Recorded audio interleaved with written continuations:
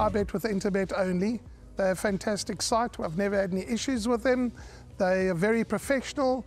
There's never a problem. You deposit money, two seconds later it's in your account. You withdraw, which I do very occasionally, and uh, I believe it's also two seconds it's in your account.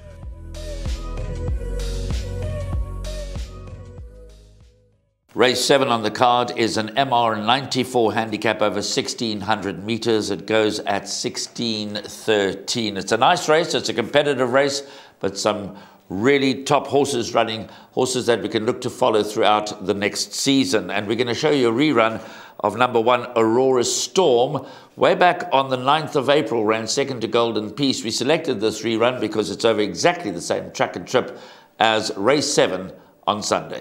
The Snape needs the gaps to open. Golden Peace is still a runner. Aurora Storm on the outside. Down the inside, the Bayou's getting into it late on. Teichmann's fighting back. Golden Peace and Aurora Storm the last hundred. Any of four, but Golden Peace is looking to repel all challenges. And Golden Peace is staying on stoutly as they go to the line. Aurora Storm second, then came Release Me. And Time Taker taking off into the quartets.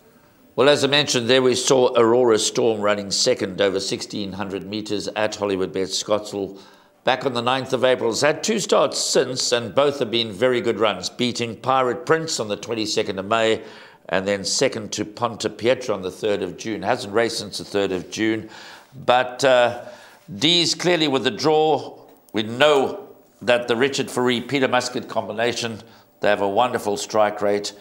I'm only going to put horses into this leg of the jackpot in the Pick Six. I know you're going wider, mm. but I'm looking to the fancied horses one Aurora Storm and seven Kitchikel to get me through. It doesn't the winning possibilities don't end there. I understand that, but firstly, what do you make of Aurora Storm? I think uh, with the right horse in the race, good draw last time out, hopeless position. Tristan Godden was uh, uh, just gave the horse a chance and was running on nice. That was Ponte Pietra, is a very nice horse from the Dean Kannemeyer stable. I think he's now won uh, three in a row. Uh, if this horse can find a finish, as we saw in that replay, and we've seen since, especially that last start, I think from draw number one, not going to be too far off them turning to that straight. You've got the right horse there, Graham, possibly the horse to beat. Kitchikel, your cover. Yeah, last time out, a bit one paced over that 1400 meter trip. I see they're going a furlong further, which could be the answer because won well at that penultimate start over 1600 meters. So you're on the right two horses for the place accumulator and the bar pot. Uh, sorry, place accumulator, you're on the right two horses. For the pick six Graham, I, I think there's some, you know, you mentioned at the top of this preview that you could follow some of these horses for the rest of the season. I think one of them is number six, Fateful Day, uh, who continues to slide in the ratings, although uh, ever so slightly from that last start. But again, 10 out of 13, penultimate start. 13 out of 15 last time out. Bigger fields, higher number draws. It's a smaller field, 6 out of 10. And uh, yeah, Athandiwe Mgudlwa and Garrett Zyl, you know, these, this combination, I think wherever they race, I see now they're teaming up in the Western Cape uh, where Garrett's got uh, uh, some horses there that he's taken down. Follow them. 8 Willow Express, I was just telling you off air, I was a bit confused when Sean Tarry raced this horse over 1200 last time out. Maybe he just had a plan in, of a race in mind, having a look at the, the fixture list just to bring this horse along nicely. And although it hasn't won in some time, uh, a long time in fact, I think that rating dropped from a 104 to a 90. Good chance. And then I want you to make a choice for me, Graham, because I'm going to stick with my rule. I'm not going to include the field here.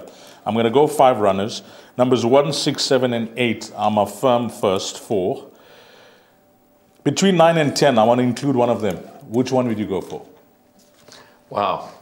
You're saddling me with responsibility. What, no, if, I just, choose, just, what if I choose the wrong one and you go one leg out the pick six? No, I'm, I'm hoping I'm that you come through with one and seven now because I'm going, to, I'm going to answer the question. I'm not going to duck the issue. For me, number 10, Ideal Act. I sure. think that uh, he runs well. I think he needed his last run. They'll, they'll drop him out from that draw. I'm pretty certain about that. So he's going to have to have a little bit of luck in running. But if you're comparing Shampompo, Champisi, and Ideal Act, um, I hope I'm not making any enemies out there, but I would go with number 10, Ideal Act. But yes, I'm hoping that actually Aurora Storm and Kitchikel will be enough to get us through.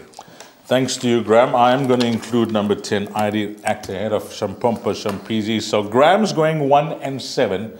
in all his bets. Basically, the place accumulator and the jackpot and the pick six. I'm running for some cover here. One, six, seven, uh, eight, and ten are going to be the numbers. That's half the field.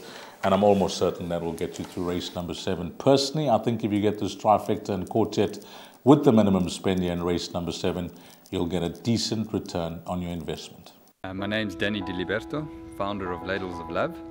Was founded back in 2014. Communities we, we work with are all over the peninsula and um, we're working with 138 beneficiaries now. We've grown exponentially. Um, we've been able to do that because of all the kindness that we have experienced um, from individuals and corporates such as uh, Interbet who just want to be part of the change.